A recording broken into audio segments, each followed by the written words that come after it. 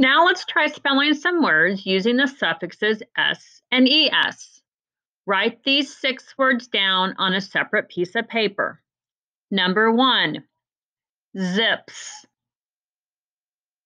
Number two, rushes. Number three, mixes. Number four, checks. Number five, jets. Number six, buses.